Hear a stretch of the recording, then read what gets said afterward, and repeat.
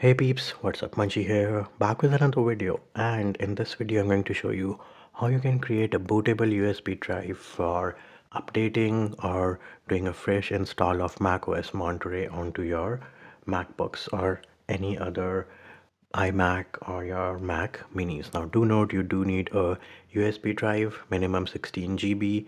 You are going to lose all the data which you have on the USB drive, so make sure you have a backup of that.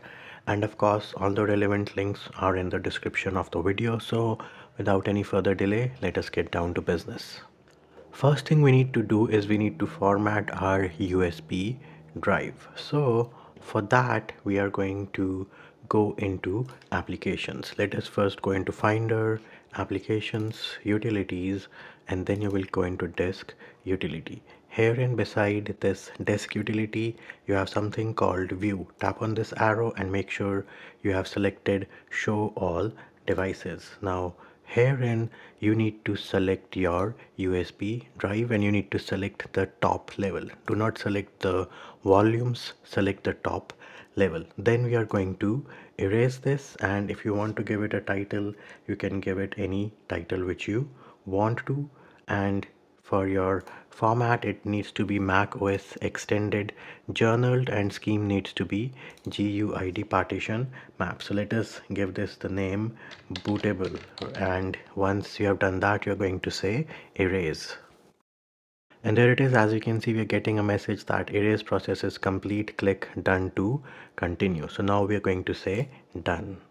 Next thing we need is we need to download mac os monterey. Now i do have a link in the description of the video and as you can see this link is from apple's servers. And this here is the latest version of macOS Monterey at the time of recording this video which is 12.6.2 as in when we get new versions I will update the link in the description. So all you need to do is select and click the link in the description of the video and that is going to download this install assistant package. So I'm going to save it on my desktop. And this here is the install assistant for macOS Monterey. And as you can see this is around 11.5 GB so it is going to take some time and you have to be patient now once the file has downloaded here is the file on our desktop. All you need to do is double click on this and this is going to open up the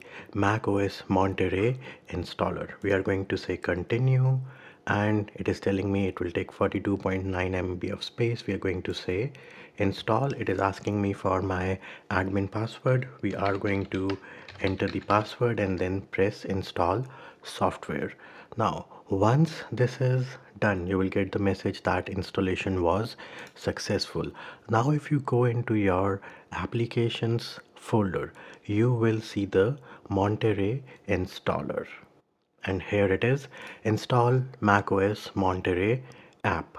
Next thing you need to do is you need to right click on it or you can do control plus click if you do not have right click enabled. Go into show package contents. Go into contents then you will go into resources. Here and let me change the view to list. And you need to look for this file which is called create install media. This is the one you need to look for. Do not look for yosemite or the dynamic library. You need to look for create install media next thing we need to do is we need to open terminal. So let me open another finder window. Then we can go into applications. Then we can go into utilities and open the terminal application. Herein you will type sudo space. And then drag and drop this create install media. So that is plugged in. The space is there. Then you will type hyphen hyphen volume space next thing we need to plug in the path of our USB drive. So click anywhere on your home screen. That is going to enable the menu on top. We are going to select go then go to folder. Type in slash volumes with v in caps and then press the enter key. So these are the different volumes. And this is the one which we had created right? Bootable was the label which we had given it. So we're going to just drag and drop this over here. And the name has been plugged in successfully. And then the next thing you need to do is press the enter key on your keyboard. It is going to ask you for your admin password. We are going to enter it. Now do note when you enter the password you will not see any characters or anything like that but the password is being entered.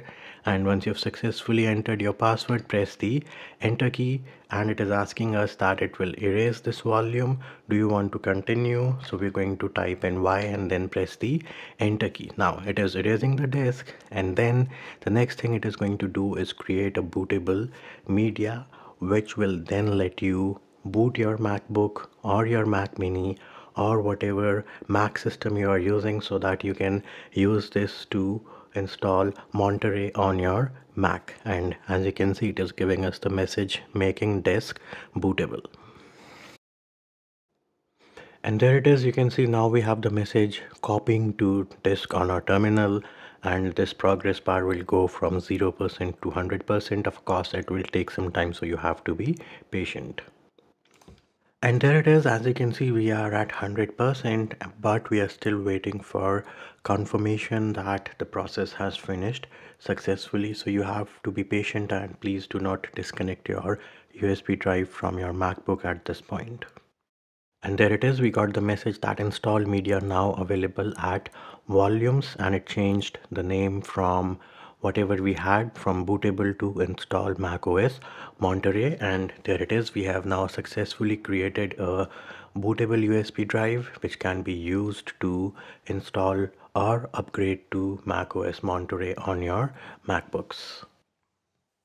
And how do you boot your MacBook using the bootable USB drive which you just created? So with the USB drive still connected, go ahead and restart your Mac. So we're going to select restart and then select restart one more time. And as soon as the screen goes blank, you press and hold the option key. Once you do that, bam, here it is. You can see we are now getting the option of installing Mac OS Monterey. So if you choose this option, you will now be booting from the USB drive which we just created.